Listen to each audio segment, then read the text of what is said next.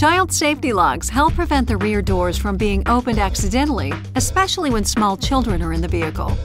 The child safety lock levers are located on the edge of the rear doors. When the lever is in the lock position, the door can be opened only from the outside. Please see your owner's manual for important safety information, system limitations, and additional operating information.